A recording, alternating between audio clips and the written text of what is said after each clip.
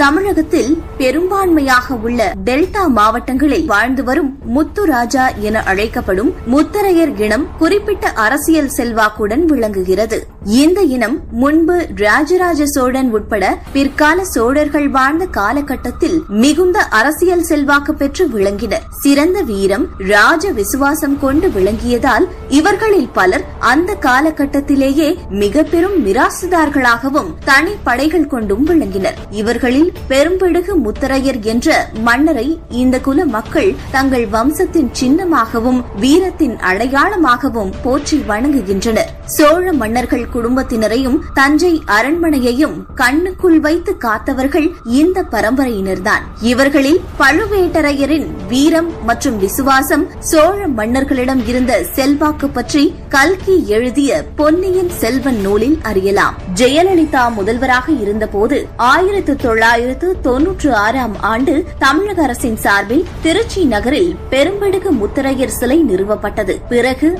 மீண்டும் ஜெயலலிதா ஆட்சியில் இரண்டாயிரத்து இரண்டாம் ஆண்டிலிருந்து பெரும்பிடுகு முத்தரையர் பிறந்தநாள் விழா அரசு விழாவாக கொண்டாடப்படுகிறது. தற்போது முத்தரையர் என்ற பெயரில் அறியப்படும் இவர்கள் முத்துராஜா முத்திரியர் அம்பலக்காரர் சேர்வை சேர்வைக்காரர் வலுவாடி தேவர் முத்திரை பிள்ளை உட்பட இருபத்தொன்பது பிரிவினராக டெல்டா மாவட்டங்களில் வாழ்ந்து வரும் பழந்தமிழர்கள் ஆவர். இந்நிலையில் காவிரி டெல்டா மாவட்டங்களில் கணிசமான எண்ணிக்கையில் வாழ்ந்து வரும் இந்த சமுதாய மக்கள் ஜெயலலிதா தலைமை தலைமையிலான அதிமுகவுக்கு பெருமளவில் ஆதரவு வழங்கினர். அதற்கு முன்பு எம்ஜிஆருக்கும் தங்கள் ஆதரவை வழங்கினர். சென்ற சட்டமன்ற தேர்தலில் இந்த சமுதாயத்தினரின் வாக்குகளை பெற திமுக மிகப்பெரிய முயற்சிகளை எடுத்தது. திமுக ஆட்சிக்கு வந்தால் முத்தரையர் சமுதாயத்திற்கு உரிய அரசியல் அங்கீகாரம் வழங்கப்படும் என்றும் அவர்களின் நீண்ட நாள் கோரிக்கைகள் அனைத்தும் தீர்த்து வைக்கப்படும் என்றும் உறுதியளித்தார். முத்தரையர் இனத்தை சேர்ந்தவர்களுக்கு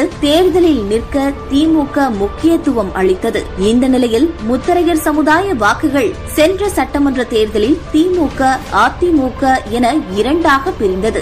என்றாலும் முதல் முறையாக இவர்களின் வாக்குகளை பெருவாரியாக பெற்று திமுக கணிசமான தொகுதிகளை வென்றது. இந்நிலையில் வரும் தேர்தலில் முத்தரையர்களின் வாக்குகளை சிந்தாமல் சிதறாமல் வாங்க வேண்டும். திமுகவுக்கு இந்த வாக்குகள் செல்வதை தடுக்க வேண்டும் என்ற நோக்கத்தில் தமிழக பாஜக ஈடுபட்டுள்ளதாகவும் இதற்காக பாஜகவில் சமீபத்தில் இணைந்து துணைத் தலைவர் ஆகியுள்ள அண்ணாமலையை தீவிரமாக களமிறக்கியுள்ளதாகவும் கூறப்படுகிறது. அண்ணாமலையும் ஆர்வத்துடன் அந்த பணிகளை செய்து வருவதாகவும் இதற்காக தனக்கு டெல்லியில் உள்ள செல்வாக்கை பயன்படுத்தி அப்பகுதிகளுக்கு நிறைய நன்மைகள் செய்ய உள்ளதாகவும் கூறப்படுகிறது. மேலும் வீர முத்தரையர் சமுதாயத்தின் ஒன்பதாவது மாநில செயற்குழு கூட்டம் திருச்சி வயலூரில் நடைபெற உள்ளதாகவும் அதில் சிறப்பு விருந்தினராக அண்ணாமலை பங்கேற்க உள்ளதாகவும் கூறப்படுகிறது. மேலும் வரும் சட்டமன்ற தேர்தலையொட்டி முத்தரையர் சமுதாய மாநாடு நடைபெறவுள்ளது. அதில் பாஜக தேசிய தலைவர் நட்டாவை பங்கேற்க வைக்க அந்த சமுதாய பிரமுகர்கள் முடிவு செய்துள்ளதாகவும் கூறப்படுகிறது. அந்த சமுதாய மக்களின் வாக்குகளை பெறுவதுடன் அவர்களின் தேவை பிரச்சினைகளை மத்திய மாநில அரசுகளின் கவனத்திற்கு எடுத்துச் செல்ல அரசியல் வியூகம் ஒன்றை வகுத்து அண்ணாமலை செயல்பட்டு வருகிறார் என்றும் கூறப்படுகிறது.